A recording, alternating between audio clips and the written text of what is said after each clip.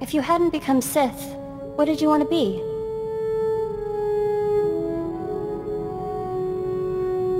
I always wanted to be a starship captain. I guess you got part of what you wanted. This is a pretty nice ship. I've been thinking about this lately. I was trained to be a Jedi practically from birth. I wonder if it was the right thing. I never really got the chance to choose.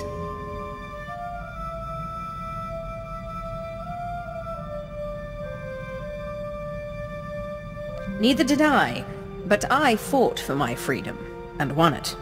I guess I'm still trying to figure out what I want.